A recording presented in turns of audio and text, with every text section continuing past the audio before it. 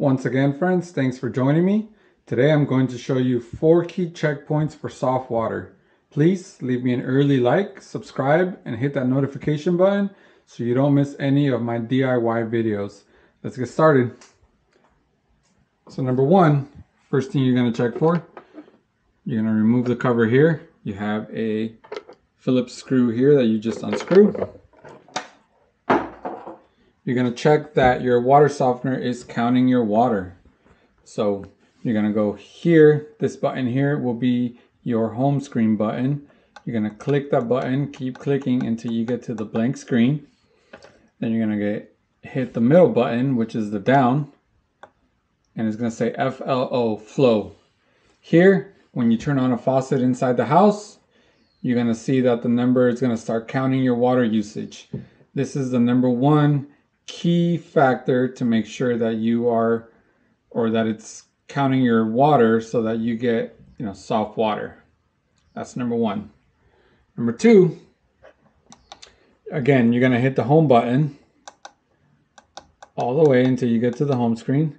Then you're gonna hit the middle button here out of the three. The middle button is the down button until you get to 14 days. Right there, it's gonna tell you how many times it's regenerated in the last 14 days. Here, it's been two times. So that's the number two checkpoint is to make sure that your water softener is regenerating. So by checking that, you will make sure that it is. Number three is you're gonna wanna make sure that your water softener is creating vacuum. So by doing that, you're gonna have to hit the re you're gonna have to do a manual regeneration, which is here, the bottom button. You're gonna hold it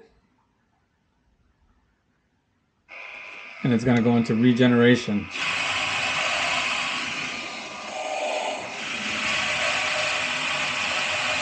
Then you're going to find the brine rinse cycle. So you're going to go again on the home screen, the home button, until you get to the blank screen.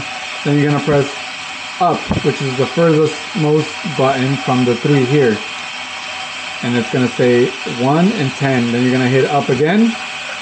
You're going to say 2 and 60. That is the brine rinse cycle. At this point, you're gonna make sure that your water softener is creating vacuum. Okay, so you're gonna come to your brine tank here. You're gonna remove the lid. You're gonna find your brine well, which is right here. Remove this little white cap off of it. And you're going to see your brine line, which is this line here connecting to here. Now, it's either going to be a twist off or it's going to be one of these John Guest shark bites where you have to push back on the fitting and then you pull on the tubing here. Once you do that, you're going to check it against your skin and see if it's creating a suction. If it is, then you're in good shape. That means your water softener is in fact creating vacuum. This is one of the most crucial steps to get soft water. So you're gonna reconnect it and you're gonna push it back in